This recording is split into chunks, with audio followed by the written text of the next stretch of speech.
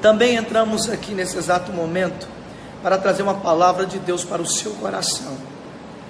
O Senhor, Ele queimou no meu coração o Salmo de número 91. Apenas três versículos. O versículo de número 1, o versículo de número 7 e o versículo de número 10.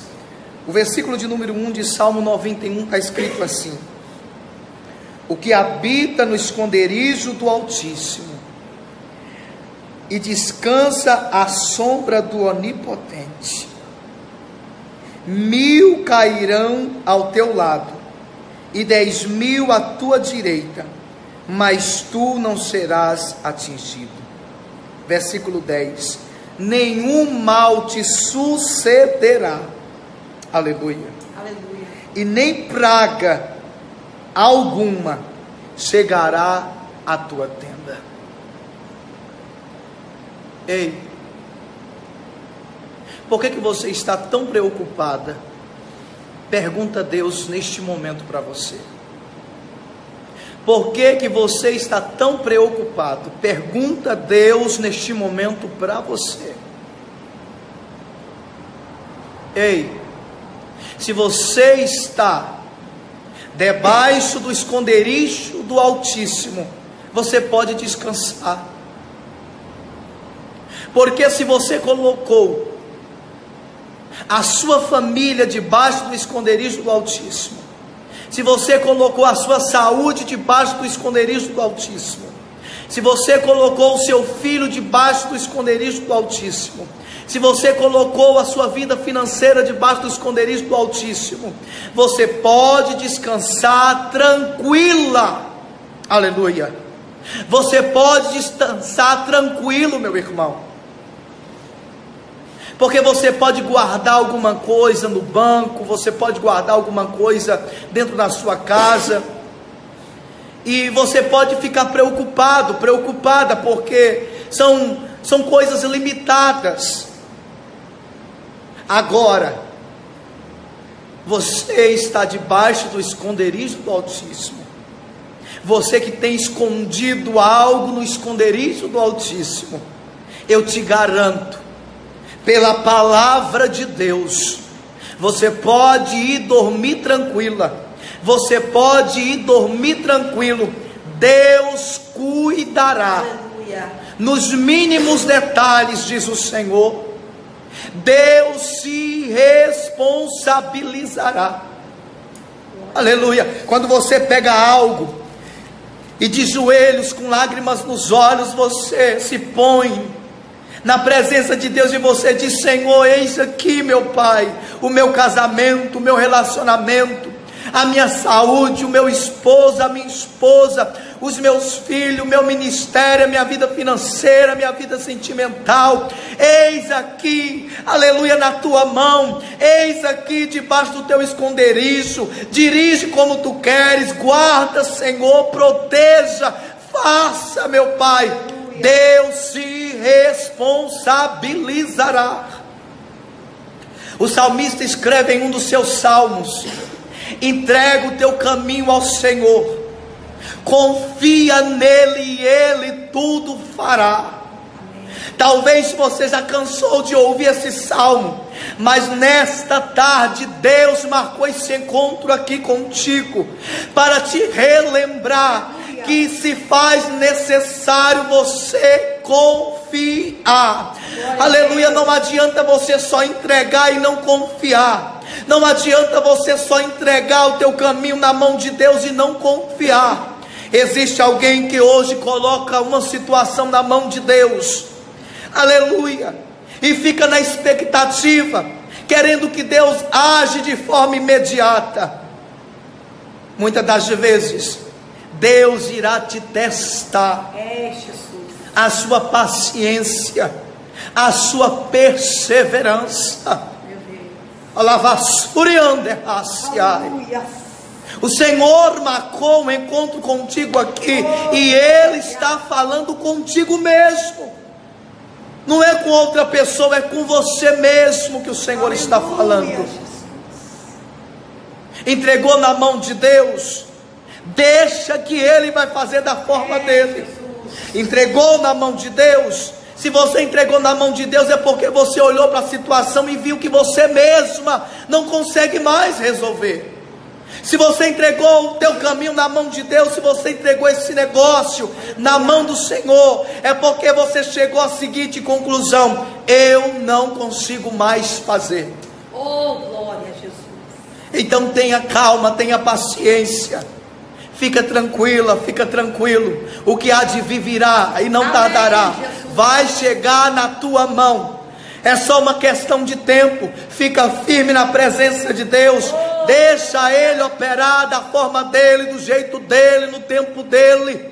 Por mais que você está olhando com seus próprios olhos, está vendo a situação indo de mal a pior. Deus, Ele permitiu Daniel entrar na cova. Deus permitiu o leão se levantar. Deus permitiu os leões rodar Daniel. Tudo isso para testar a fé de Daniel. Oh, aleluia. Tudo isso para ver até onde Daniel confiava. Daniel permaneceu firme até o fim e Deus usou a cova, os leões, para abençoar e honrar a Daniel. Deus vai usar tudo o que está acontecendo na tua vida para te honrar. Essa palavra é só para quem acredita. Aleluia. Aleluia. Deixa Deus te usar, pastora Fabiana. Aleluia. Glória. Toda a minha vida. Escute aí, ó. Escute. Ó Senhor, te louvarei, pois meu fôlego é tua vida. Aleluia. E nunca me cansarei. Posso ouvir a tua voz, que é mais doce do que o mel, que me tira desta cova, que me leva até o céu. Já vi fogo e terremotos, vento forte que passou. Já vivi tantos perigos, mas tua voz me acalmou. Tu dá ordem às estrelas e ao mar os seus limites. Eu me sinto tão seguro É, Jesus. no teu colo, ó Altíssimo. Escute aí, ó. Não há ferrolhos, Não há, não há. nem portas que se fechem tua voz. Não há doenças, nem culpas que fiquem de pé diante de nós. E a tempestade Oh, aleluia. se acalma Aleluia. na voz daquele que tudo criou, pois tua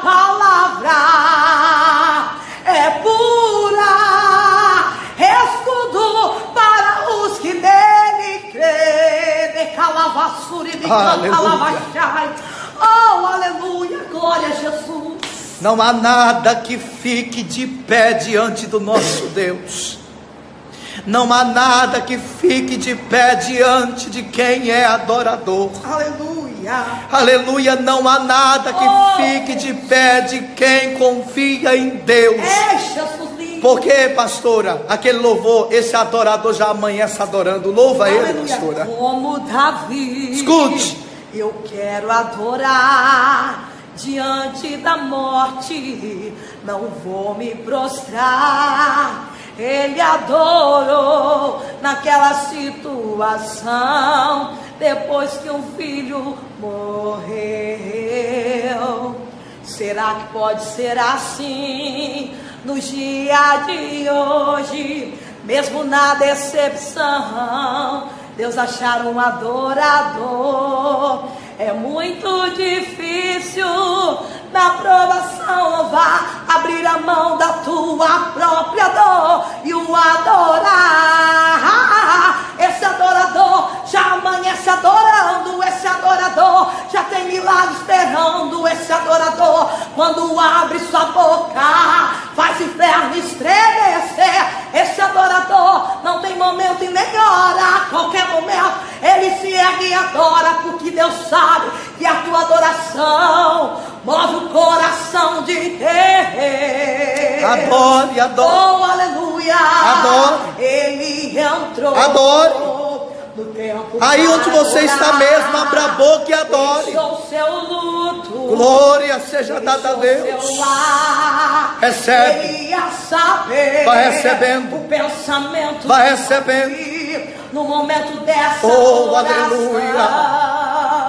O coração de Deus se derreteu ao ver Davi romper o seu luto. Foi o que escolheu. Davi se prostrou,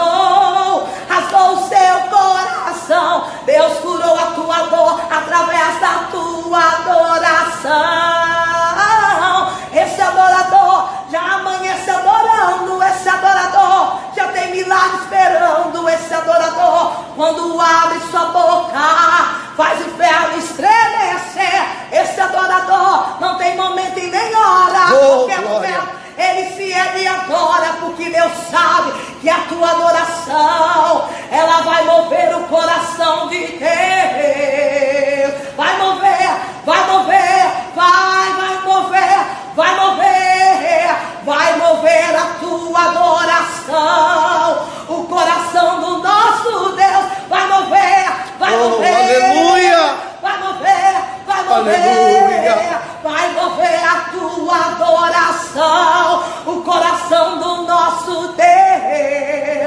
Aleluia. É só adorar. É só adorar. Eu sei que no momento de dificuldade, de luta, eu sei que é difícil, mas a adoração na luta, ela move o coração de Deus. Aleluia, Deus se põe de fé. Ele se põe de pé para poder, aleluia, decretar a bênção, a providência, aquilo que é impossível para você, o Senhor decretará a vitória, porque a tua adoração está movendo o coração de Deus. Creia, creia, o seu milagre já chegou na sua mão. Isso aqui é só para quem tem fé. Aleluia. O seu milagre já foi preparado e já chegou nas suas mãos. Tem novidade de Deus chegando na sua vida, Deus vai te surpreender. Pode cantar, pastora. Tem coisa boa chegando, tem algo acontecendo, e não importa o que você sofreu, o que importa é que você